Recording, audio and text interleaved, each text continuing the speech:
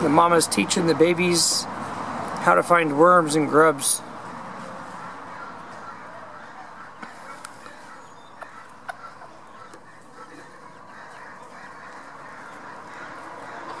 So she calls out to them when she finds something for them to eat.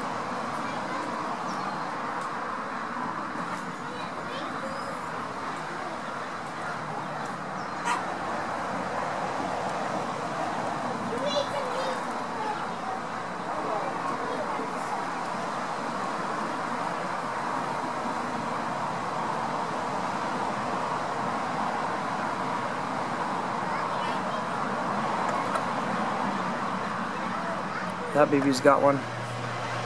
So they get to learn what's good to eat and what not to. Practice being chickens. She's like, Brr, are you video recording? Brr.